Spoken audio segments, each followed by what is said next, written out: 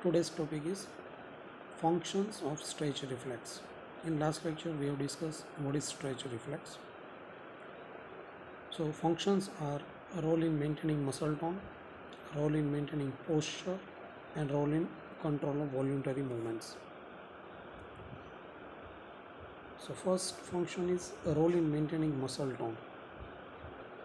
How tone of muscle is controlled by stretch reflex. So there is a role of gamma motor neuron.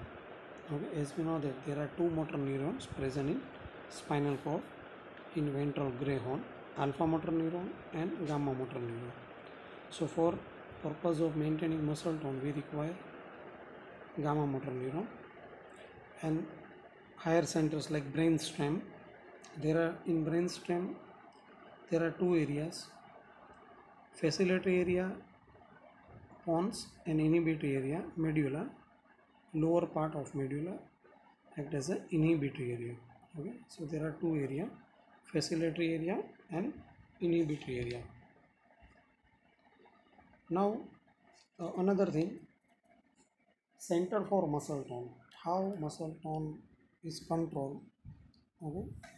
So we should uh, before we know this thing we should know what is the center for muscle tone the center for muscle tone lies in anterior motor neuron alpha motor neuron of spinal cord which are stimulated through constant gamma motor neuron discharge activity of gamma and alpha motor neuron is modified by extrapyramidal and pyramidal fiber which terminate on both the nuclei, both the motor neuron.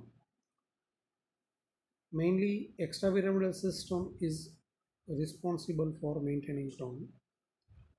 Okay. Now, this system, extrapyramidal system, consists of basal ganglia, motor nuclei of reticular formation of brainstem, vestibular nuclei, and a descending fiber convey impulse to the spinal cord. Now, from cerebral cortex, area number 6, also some fiber descend and merge with extrapyramidal nuclei. So, this is center for muscle tone. Now, supraspinal control on muscle tone.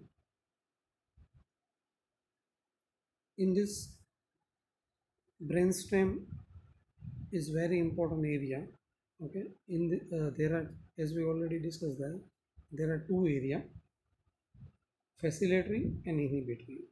So this facilitatory area is also known as a bulboreticular facility area which is located in pons and it discharge facilitatory impulses to spinal motor neuron. And this area receive facilitatory impulses from vestibular nuclei facility portion of cerebral cortex, cerebellum, basal ganglia.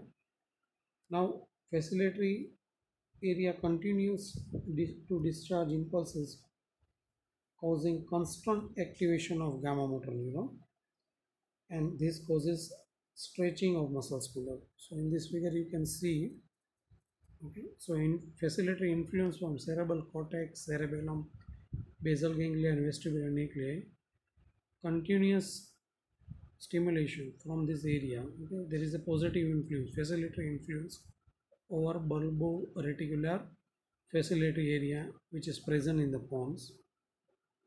And due to this facilitatory input okay bulboreticular facility area stimulate gamma motor neuron okay and there is a continuous discharge from gamma motor neuron okay which is present in spinal cord.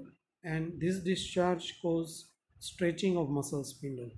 As we know that uh, uh, polar ends of muscle spindle innervated by gamma motor neuron fiber. Okay? Gamma fibers basically. Now due to stretching of this uh, muscle spindle there is activation of alpha motor neuron.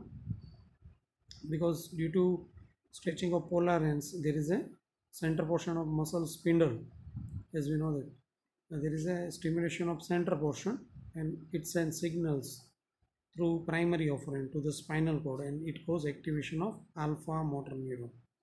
And due to activation of alpha motor neuron there is a contraction of muscle fiber okay? So there is a partial contraction of muscle when muscle is in relaxed state and it is known as a tone okay? Muscle tone now along with this facilitatory area we have uh, also inhibitory area which is known as a bulboreticular inhibitory area which is located in lower part of medulla. Now this area has a no intrinsic activity of its own but it becomes active when it is activated by cerebral cortex and cerebellum.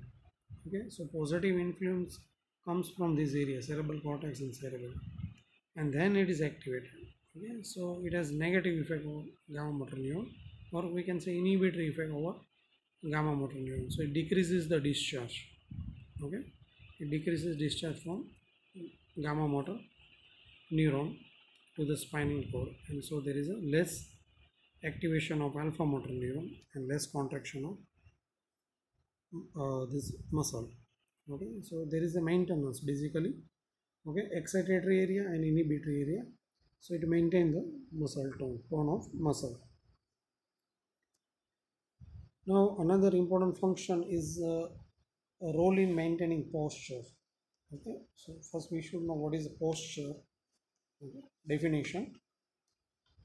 So it is basically a subconscious adjustment of tone in different muscle so uh, basically it is a maintenance of balance during displacement of the body caused by gravity or acceleration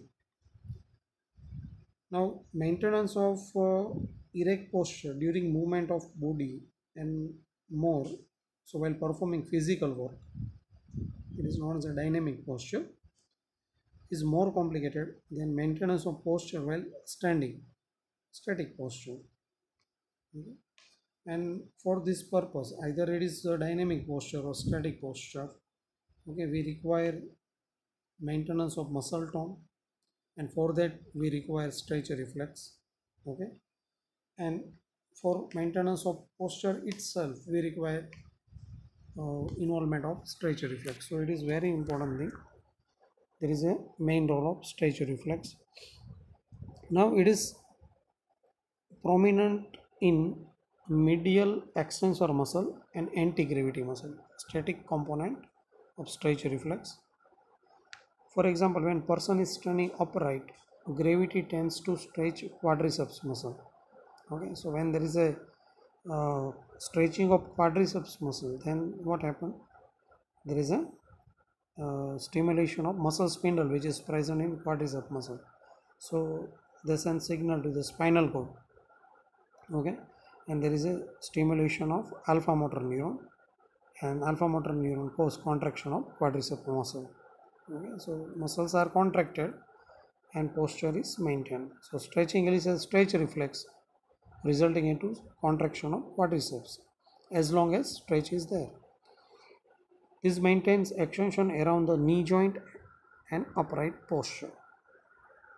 Now role in control of voluntary movements the constant level of uh, primary afferent 1a input to the central nervous system during movement it indicates that motor command is being carried out. And if there is an increased activity of 1a indicates that motor command is not being carried out.